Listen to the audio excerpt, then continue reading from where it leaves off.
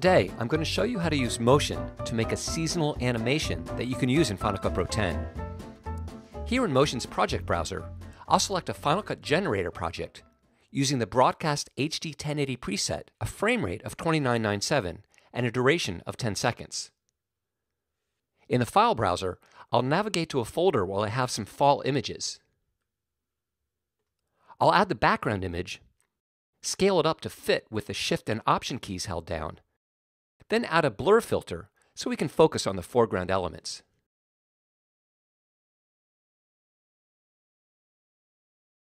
Next, I'll add a leaf, and I'll press E to create an emitter out of it. If I play back now, I get tons of identical leaves spreading out in all directions. In the emitter inspector, I'll change the shape to a line. In the canvas, I'll press spacebar and Command and drag left to zoom out a little. Right-click on the leaves and select Emitter, then drag the endpoints of the line wider and up off the top of the viewable area. Now, I'll press Shift-Z to fit the canvas back to the window, start playback, and start to introduce some randomness. In the emitter inspector, I'll change the emission range to 30, the birth rate to 5, birth rate randomness to 2, the initial number to 20, life to 10, speed to 300, speed randomness to 100, angle randomness to 180,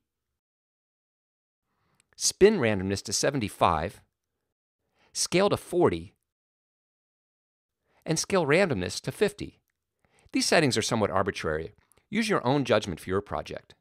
We now have leaves of different sizes and rotations, moving in different directions and different speeds, and spinning at different rates. But they're all the same color. First, I'll remove this color by selecting the source leaf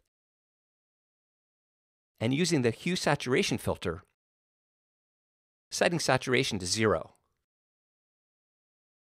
I'll also apply the levels filter to increase the contrast a bit and remove some of the dark areas. Then I'll reselect the emitter, change the color mode to pick from color range, and right-click the color tags to select some fall-like colors. I'll click to add more tags and choose more colors.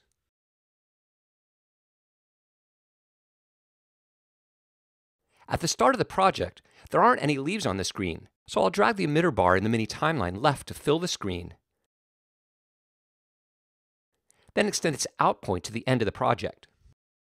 To finish the composition, I'll add some text and format it.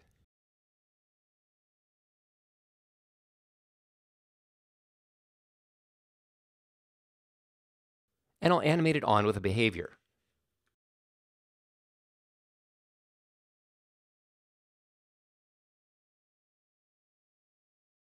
Now I'll choose some parameters to publish to Final Cut Pro.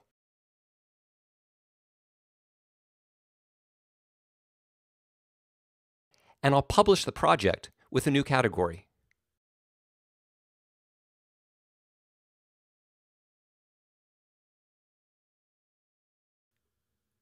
Now it's available in the Generators browser in Final Cut Pro 10, where I can add it to a project, change the text, and adjust the published parameters.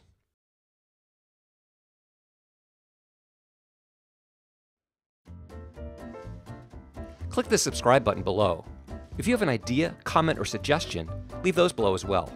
Go to rippletraining.com for fast professional training on Final Cut Pro, Motion, and DaVinci Resolve from industry professionals.